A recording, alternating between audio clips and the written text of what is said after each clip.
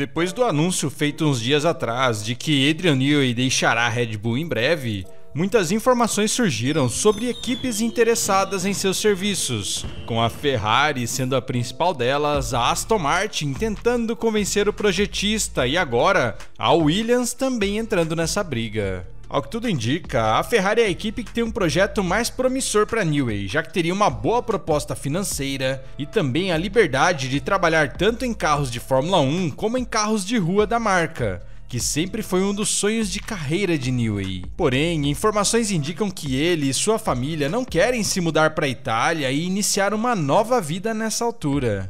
E de acordo com um consultor da Red Bull Helmut Marko, que está próximo de Newey, ele acredita que o projetista não irá mesmo para a Ferrari e em uma entrevista, ele contou o que tem notado, dizendo: que cor vejo Newey usando no futuro? Acho que o vermelho contrasta um pouco com o azul escuro, mas acho que tudo é possível com uma cor ótima como o verde.